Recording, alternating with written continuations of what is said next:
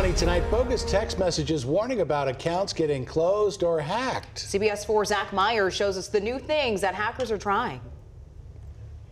Well, the goal of every phishing scam is to look authentic and trick you into think you're dealing with a legitimate company or organization. And it can be harder to spot if the crooks are using a name that you're familiar with. The watchdogs at Trend Micro say they're seeing a flurry of fake text messages that seem to be from Apple and Capital One.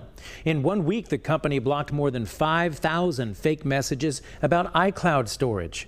One of them says your iCloud service is going to be terminated and you're going to to lose all your photos and files unless you upgrade your service. Another says your iCloud account has been suspended because you've run out of space and you have to upgrade it to reactivate it. I actually got that message a couple weeks ago claiming that I had reached my storage limit even though I have nearly two terabytes of space still open.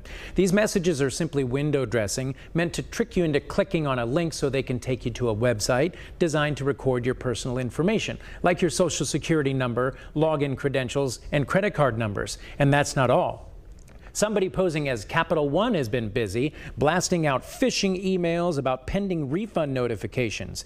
It says, Good news, you've received a new credit payment.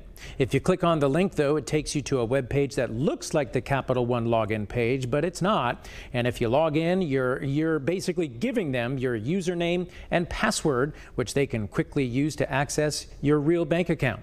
Remember, the whole goal of these scams is to get you to click on the link that they send you, so don't do it.